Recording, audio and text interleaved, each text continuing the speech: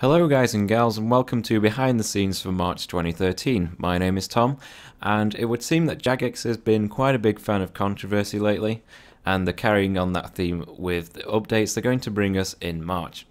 So let's see what's first on the list which is combat abilities and upgrades. So basically there's going to be a bit of an overhaul to how dual wielding works. You'll be able to dual wield different auto cast spells for each hand for mage, and you'll even be able to dual wield cross class weapons. So, for instance, you can have one magic weapon and one melee weapon, or one melee, one ranged, or whatever combination you want to use. They're going to buff up the damage of dual wielding to be more in line with two handed weapons and abilities. And there's also going to be four new basic combat abilities for range and mage which includes the Ranger's Needle Strike and the Mage's Concentrated Blast, both of which will raise your crit chance. So if you're a big fan of dual wielding, then this month will be good for you. Next on the list is Wilderness Warbands, and this will be a members only feature. As you can imagine, it's centered around the wilderness, so it's PvP centric, and you can die during this and lose all your stuff. Basically, the premise of this is that there are old burial sites for battlegrounds and stuff, and you'll have to go to these sites and perform a ritual. Now, how you perform this ritual is up to you. You can either go in stealthily and perform the ritual, which will earn you generous amounts of summoning and prayer XP, or if you're not a big fan of stealth and you just want to kill everything, then you will get Slayer XP for defeating the general bosses which will be at these sites. Once the dust has settled from the fighting, you'll be able to raid storage tents of the god minions for loot, as well as thieving, farming, construction and mining experience. Some of these storage tents will contain rare new loot, including the Wand of Treachery, which is a new tradable mage weapon aimed at mid to high level players. I'm going to guess that this is around level 70, but it could be higher or lower, because they haven't given us a specific number. These NPCs will also be the first to make full use of the new combat system, including using their own tactics and countering yours as they fight to protect their camp. They made this claim with the last Grandmaster quest, like they said it was going to in fully incorporate the evolution of combat. So it's interesting that they're making this claim again. Um, that's just something I've noticed.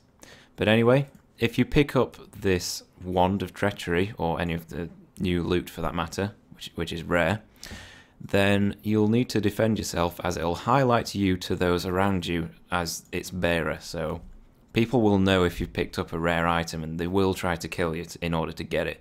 So you'll have to defend yourself. And yeah, basically prepare to lose all your stuff. Next up on the list is Easter, but not as we know it. This is for free-to-play players and members. Apparently they're going to take a different approach to the Easter event this year. We can still expect to get costumes, items and emotes as our rewards. And there will be some members only content, but free-to-play players will be able to experience some of this event.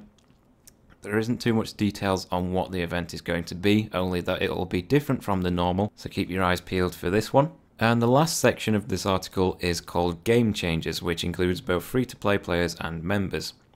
So first of all, they're going to make changes to the trial system.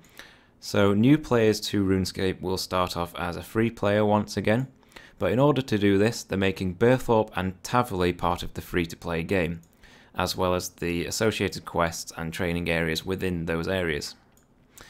They're also going to allow free-to-play players to train member skills up to a maximum of level 5, so they can have a little taste of members without having to actually become a member. Which is a quite a nice way to do it, I think. This is much better than the two-week trial members, I feel. And they're also going to make changes to the way run energy affects the game, although I don't really feel that this was needed personally. All players will soon find themselves spending far less time walking as we reduce the drain rate and weight penalty and increase the restore rate for all things run energy related. And they're also going to add an auto run feature will basically make you run whenever you have the available energy to do so. But as always, training your agility will always increase the benefits of run energy. Like I say, I don't think this was really needed, but I suppose it'll be good for lower level players. Next up, other alterations include dicing and flower games around the Grand Exchange. Now, Jagex have prepared a few solutions that could deal with this issue, which includes rule changes, content changes, and even their own versions of these flower and dice games. But which one of these solutions they implement will be up to us, so keep your eyes, peeled for this one. I think people are always going to try and gamble and stuff like that. So at least if Jagex implemented their own versions of these games, then people would be a lot less likely to get scammed, or just wouldn't get scammed at all, I guess. And finally, as always predictable, Squeal of Fortune and Solomon's General Store updates. There's going to be some improvements to the General Store. You'll notice extra support for prestige items in the keepsake box, I'm not entirely sure what that is, to be honest.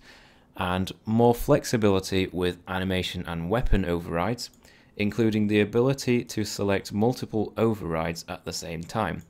So I imagine this will be sort of to support dual wielding a bit more. You can have multiple skins on multiple weapons. But that's pretty much it for this article. If you liked this video and found it useful, thumbs up and subscribe, and I'll see you next time.